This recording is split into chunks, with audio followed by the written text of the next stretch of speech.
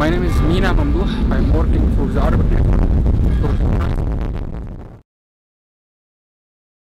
For my experience here in Danish politicians and Danish elections, the most important and uh, fantastic thing here that the high trust in the election system, uh, the high percentage of participation, it's more than 90%. Maybe in Egypt it's, uh, it's almost 40%. Uh, nobody trusts in politicians in Egypt.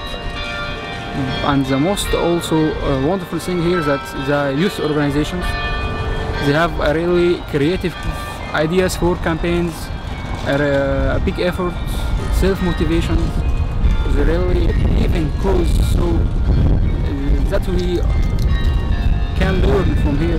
That maybe we can, when we go back to Egypt, organize something like this for youth, so we can participate more and more uh, with my uh, with independency also uh, from the mother parties or the mother organizations. So what we need in Egypt uh, is more than is more youth organizations working in the streets on the ground, in the local communities, in the local uh, lo local local ground, not on TV or something like that.